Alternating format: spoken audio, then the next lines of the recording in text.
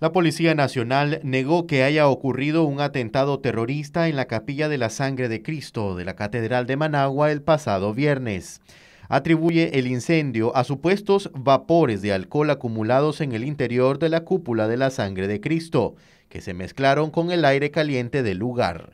Los acelerantes de la combustión, es decir, el incendio en la Capilla de la Sangre de Cristo, alcohol isopropílico con concentración, como ya decíamos, del 96% de pureza, altamente inflamable y volátil, contenido en envase plástico encontrado en la escena, atomizador color anaranjado con blanco, encontrado en la primera grada de la plataforma de la cúpula de la sangre de Cristo a una altura de 80 centímetros, ubicado en el costado oeste de la capilla, determinando que las causas del incendio son el mecanismo de inicio y propagación se originó al ascender los vapores de alcohol al techo de la capilla, que como ya dije, es construida, sellada solamente con dos accesos, llevado por las corrientes de aire que ingresa por las puertas de acceso y su posterior descenso por el orificio en la parte superior de la cúpula de la sangre de Cristo, donde se acumularon.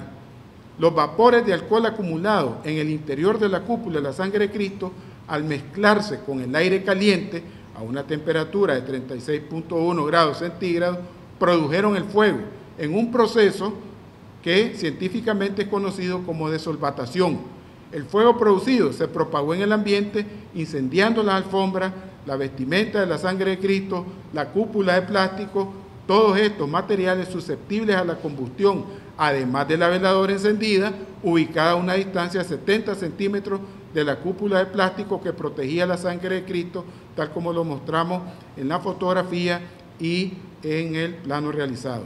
Esta versión, sin embargo, contrasta radicalmente con la postura de la Iglesia Católica y que incluso el Papa Francisco hizo referencia en su Angelus.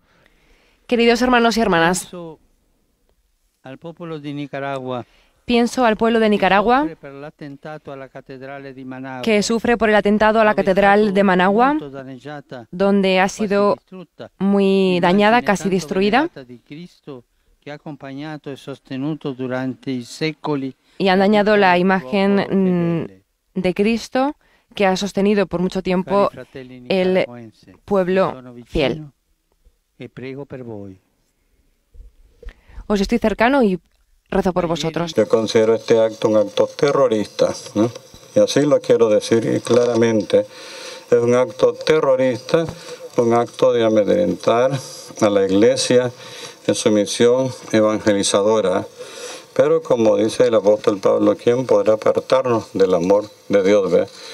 Marcos Medina, Noticias 12.